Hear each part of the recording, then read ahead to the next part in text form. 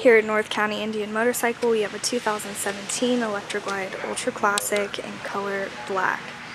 This bike comes with a 107 cubic inch Milwaukee engine and a 6 speed transmission. It also comes with a lower fairing, a tour pack, passenger floorboards, premium audio, cruise control, GPS, and it has only 8,668 miles.